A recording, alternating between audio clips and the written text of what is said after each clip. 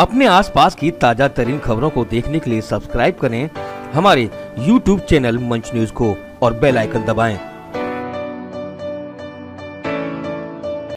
वृंदावन स्थित श्री कृष्ण जन्माष्टमी आश्रम में अखिल भारतीय अग्रवाल संगठन द्वारा राष्ट्रीय कार्यकारिणी की बैठक का आयोजन समाज के अग्रणी नेता सांसद नरेश अग्रवाल के आह्वान पर किया गया इस बैठक में सैकड़ों की संख्या में गणमान्य लोगों ने शिरकत की वृंदावन छत्तीकरा मार्ग स्थित श्री कृष्ण जन्माष्टमी आश्रम में अखिल भारतीय अग्रवाल संगठन द्वारा राष्ट्रीय कार्यकारिणी की बैठक में वैश्य समाज के लोगों ने समाज में व्याप्त कुरीतियों को दूर करने के साथ समाज के लोगों से राजनीति में बढ़ चढ़कर हिस्सा लेने की अपील की।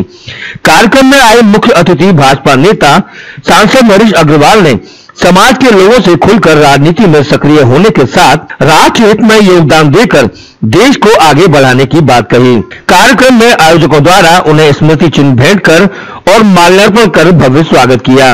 इस कार्यक्रम में राज्यसभा सांसद अनिल अग्रवाल और संगठन के प्रदेश अध्यक्ष संजय गुप्ता के साथ राष्ट्रीय प्रवक्ता अनिल गुप्ता ने भी विचार व्यक्त किए।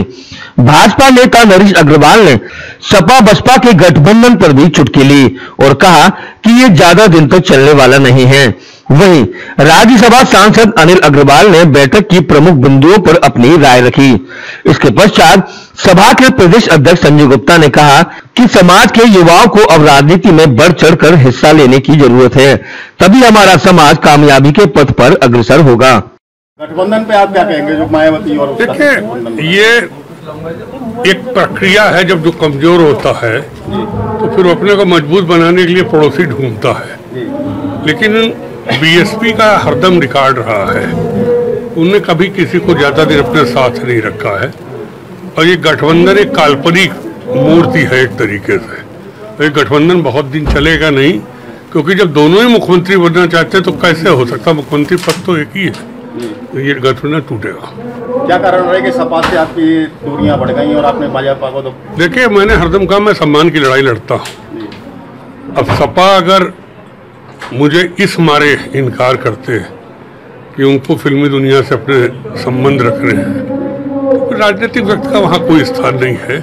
और इसी मारे मैंने सम्मान के खिलाफ जब बात आई तो मैंने सपा को ठोकर मार दी एक एक साल पूरा हो चुके हैं यूपी सरकार को चार साल हो चुके हैं केंद्र सरकार को।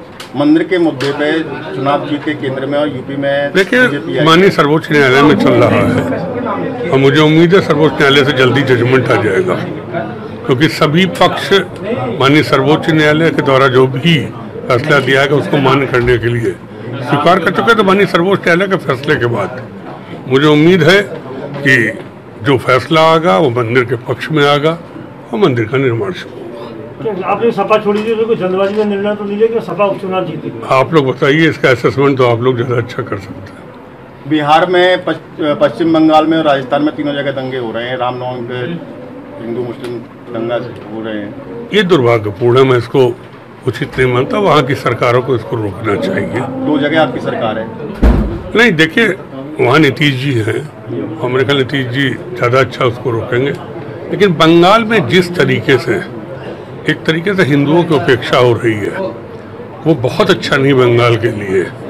और मुझे ममता जी को याद करना चाहिए एक बार मुलायम सिंह भी याद, यादव एक ज़माने में हिंदुओं की उपेक्षा करते थे तो उसका परिणाम उन्होंने देख लिया। हिंदुओं की उपेक्षा जो करेगा राजनीति में नहीं रह सकता।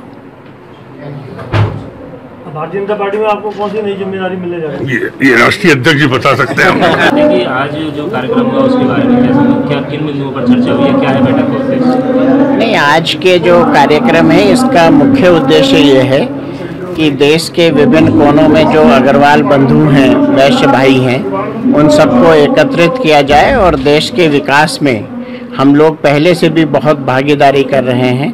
इसको और तेज़ी से एकजुट होके देश के विकास के लिए कार्य करें, समाज के लिए कार्य करें और समाज में भी जो हमारे बंधु किसी भी प्रकार से पिछड़े हुए हैं, उनको सपोर्ट करें, राजनीतिक ताकत प्राप्त करें। आज की बैठक का मुख्य एजेंडा यही है। जैसा कि देखा गया है, कुछ व्यापार मंडल के भी अलग अलग संगठन बन गए हैं तो किस तरीके से एकता आएगी नहीं, मैं इसको बुरा नहीं मानता। जितनी शाखाएँ पेड़ की होंगी तो वो सबका अपना अपना महत्व है और ज़रूरत पड़ने पे सभी जितने भी शाखाएँ हैं, जितने भी संगठन हैं, वो सब एक हो जाते हैं और अग्रवाल समाज ने देश के लिए हमेशा प्राचीन काल से अगर आप देखेंगे तो हमेशा अग्रवाल समाज ने सबसे ज़्यादा देश की उन्नति के लिए, विकास के लिए कार्य किया है। स्वतंत्रता संग्राम आंदोलन हो या उसके बाद का भी कोई कार्यक्रम हो, सबसे अधिक भागीदारी अग्रवाल समाज की रही है। मैं आपको एक चीज़ और भी बताना चाहूँगा, वैसे सब लोग जानते ही हैं। मुग़ल काल में भी जब बहुत सारे जो समाज के, विभिन्न समाज के लोग थे जो परिवर्तित हुए। अग्रवाल समाज से परिवर्तन की आपको एक भी मिसाल नहीं मिलेगी। तो अग्रवाल समाज बहुत मज़बूत है। सौम्यता, शालीनता उनकी ताकत है। ये ताकत ही उन्हें सबसे अलग करती है और आगे बढ़ाती है। बाबा कडेरा सिंह विद्या मंदिर सीनियर सेकेंडरी आवासीय स्कूल, ग्राम अखा, गोवर्धन सौंप मार्ग, मथुरा। यहाँ आपके बच्चों को मिलता है 50 एकड़ में फैला विशाल हरा भरा विद्यालय प्रांगण। सीबीएसई बोर्ड द्वारा 10 परीक्षार्थियों को विशेष योग्यता प्रमाण पत्र। बोर्ड कक्षाओं का शत प्रतिशत परीक्षा फल। एनसीसी एवं एनएसएस की ट्रेनिंग छात्र एवं छात्राओं के लिए अलग अलग छात्रावास की सुविधा। वातानुकूलित भोजनालय, पोषक शाकाहारी आहार। विद्यालय की निजी गौशाला से छात्र छात्राओं हेतु गाय के शुद्ध दूध की व्यवस्था। छात्रावास से विभिन्न नौ राज्यों के 550 छात्र छात्राएँ अध्ययनरत। 24 घंटे अनुभवी गार्ड और गनमैन द्वारा कड़ी सुरक्षा। योग्य एवं अनुभवी अध्यापकों द्वारा शिक्षण कार्य छात्रावास में छात्र की कुल फ़ीस अस्सी हज़ार ऐसी एक लाख तथा छात्राओं के लिए साठ हज़ार ऐसी पिछहत्तर हज़ार।